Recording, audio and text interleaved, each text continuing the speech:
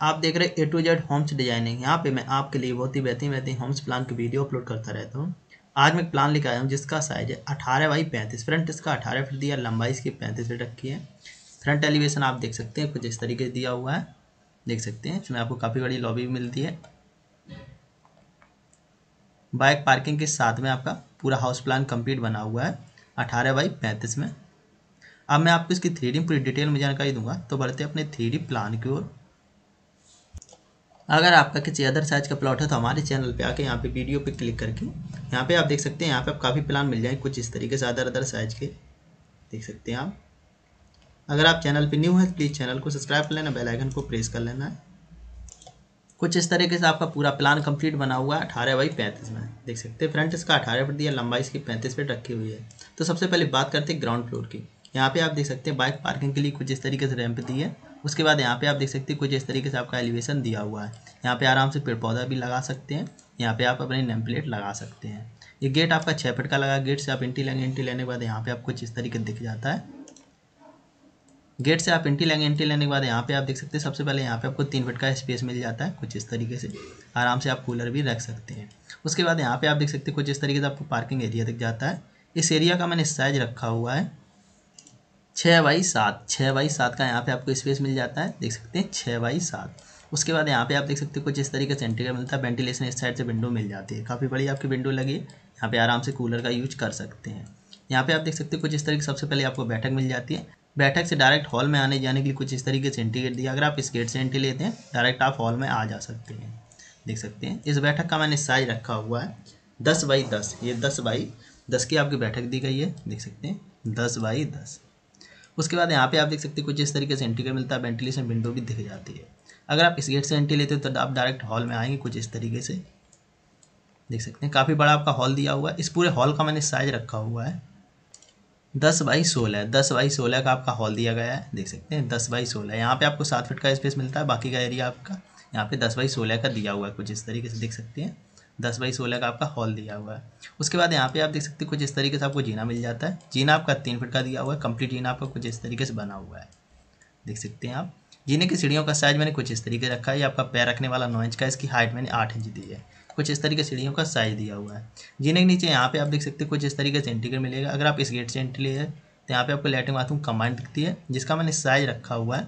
छः बाई सात। ये छः बाई सात का यहाँ पे आपको अच्छा खासा स्पेस मिल जाता है लेटरिन बाथरूम के पर्पज़ से। देख सकते हैं। काफ़ी अच्छा खासा यहाँ पे आपको स्पेस मिलता है। उसके बाद यहाँ पे आप देख सकते हैं कुछ इस तरीके से एंट्री का मिलता है। अगर आप इस गेट से एंट्री लेते तो यहाँ पे आपको इस तरीके रूम दिख जाता है।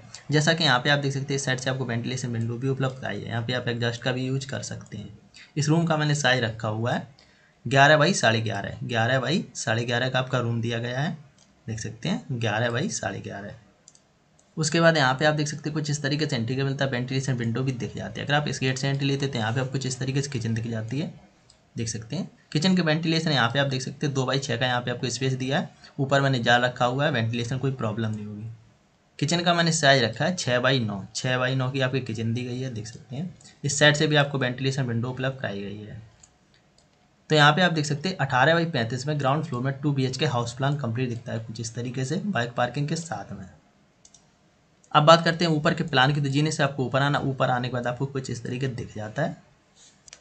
जीने से आप कुछ इस तरीके से ऊपर आएँगे, उसके बाद तुरंत ऊपर जाने के लिए कुछ इस तरीके जीना दिख जाता है, जैसा कि आपको नीचे देखने को मिला था।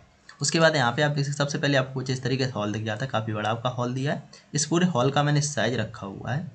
दस बाई नौ का आपका हॉल दिया गया है, देख सकते हैं, दस बाई नौ, दस बाई नौ का आपका हॉल दिया है। उसके बाद यहाँ पे आप देख सकते हैं, कुछ इस तरीके से एंट्री मिलता है वेंटिलेशन विंडो भी दिख जाती है। अगर आप इस गेट से एंट्री लेते तो यहाँ पे रोड साइड से रूम दिख जाता है।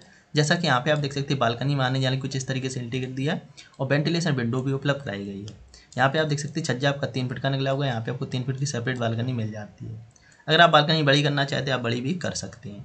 ये आपका मास्टर बेडरूम दिया गया है, जैसा कि यहाँ पे आप देख सकते हैं, कुछ इस तरीके से एंट्री मिलता है।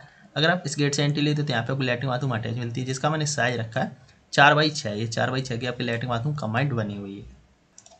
इस रूम का मैंने साइज़ रखा है, दस बाई तेरह। ये दस बाई तेरह का आपका मास्टर बेडरूम दिया हुआ है। दस बाई तेरह। इसके जस्ट बगल में यहाँ पे आप देख सकते हैं, कुछ इस तरीके से एंट्री मिलता है। अगर आप इस गेट से एंट्री लेते हैं तो यहाँ पे आपको कॉमन लेटरिन बाथरूम दिख जाती है, जिसका मैंने साइज़ रखा है चार बाई सात।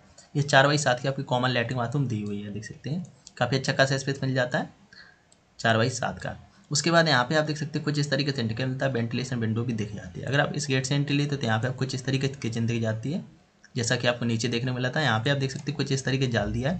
ऊपर का भी वेंटिलेशन होता रहेगा, नीचे का भी वेंटिलेशन होता रहेगा। इस किचन का साइज़ मैंने सेम रखा हुआ है। टोटल साइज़ रखा हुआ साढ़े ग्यारह बाई छः साढ़े ग्यारह बाई छः की यहाँ पे आपको टोटल किचन दी है। उसके बाद यहाँ पे आप देख सकते हैं कुछ इस तरीके से एंट्री गेट मिलता है। अगर आप इस गेट से एंट्री लेते हैं तो यहाँ पे आपको मास्टर बेडरूम दिख जाता है। जैसा कि यहाँ पे आप देख सकते हैं कुछ इस तरीके से आपको विंडो भी उपलब्ध कराई गई है। यहाँ पे आप देख सकते हैं कुछ इस तरीके से एंट्री गेट मिलता है। अगर आप इस गेट से एंट्री लेते हैं तो यहाँ पे आपको लैट्रिन बाथरूम अटैच मिलती है, जिसका मैंने साइज़ रखा है। तीन बाई सात है। तीन बाई सात की आपकी लैट्रिन बाथरूम कमांड बनी हुई है।